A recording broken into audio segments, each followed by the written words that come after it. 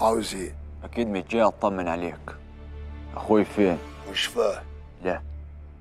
فاهم خلاص. فاهم وبلاوع خوف منك. من قوتك. من جبروتك. ما تتمسخرش علي. علي صوتك كمان وهتلاقي يدي ماسكة حنجرتك قسمها نصين. كيف الفرخه اللي واكلها حرام عشان فطيس. طب فهمنا أنا يا حمزة طيب. يعني إيه أخوك فين؟ أنت ما تتكلمش. يا واكل ناسك. اللي كيفك؟ يلبس طرحة. جريان ناري هتضربوا أبوه واقف؟ ولا صحيح؟ أبوك غفران. قلتها قدامي قبل كده بس نسيت. اسمع يا حمزة. لو فينا حد واكل ناسه فأنت. لو فينا حد غدار وخاين فأنت.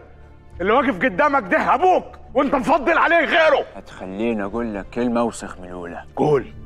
والمرة دي لو حشدي هضربك بالتاني. لا تانية ولا تالتة يا ميري فيه كلام أقوى من مية قلم ويوجع أكتر من جلد على الظهر.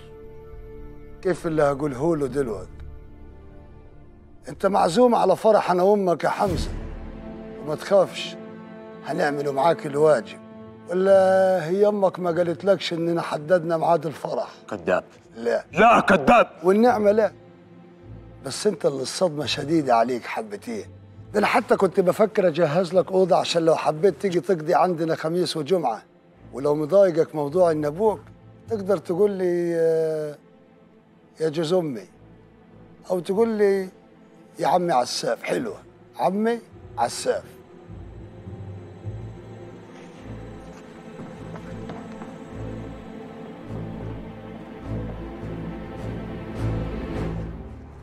تعرف حاجة عن موضوع أخوه ده؟ فرقة آه فرق فرقة إيه؟ فرق إنك مش هتأذي حد فيهم يا عساف دول كيف عيالي؟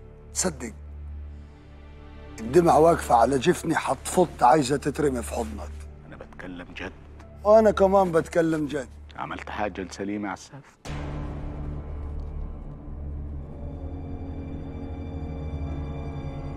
لسه